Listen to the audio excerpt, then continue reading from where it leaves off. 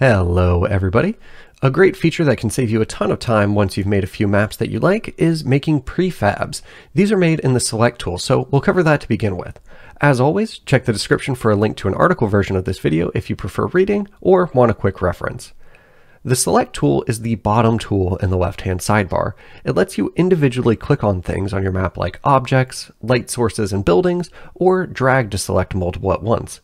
Depending on what you have selected, you can copy and paste them, change their over-under setting, switch them to a different layer altogether, change their color if it's colorable, or just delete them. You can click and drag objects and light sources to move them, drag their corners to resize them, or click and drag just outside their highlighted box to rotate them. For most things in Dungeon Draft, clicking on it with the Select tool lets you change a lot of the original things you selected when you placed it. Now, you'll notice these two buttons in the middle here make prefab, and separate. A prefab is basically a group of objects and or light sources and patterns that you can place all at once rather than individually. So say you've stacked a bunch of barrels really nicely and use that in your taverns a lot, or you've carefully situated a light source on each candle on a shrine, or you've combined a bunch of different assets together cleverly to make something new, and you want easy access to it in the future.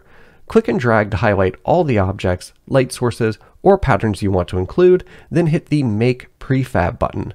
A window will pop up with a few options. It will add your prefab to the default set to begin with, but if you want, you can hit the plus to create your own sets to keep them organized, and the minus key to delete a set. Then you can enter a name and hit Accept.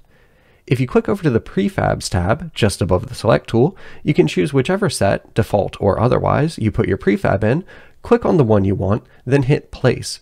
The objects will be visible in the middle of your map, but you'll have to place them by clicking on the map where you want them to go.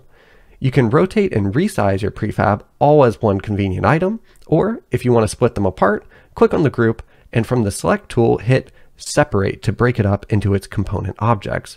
You can also hit Forget from the Prefabs menu to delete them. When you create a prefab, it will be saved here and will be there ready to go for you the next time you load up Dungeon Draft 2. Prefabs can be a huge time saver, especially once you've found some looks you really like incorporating into your maps, or you've made something unique.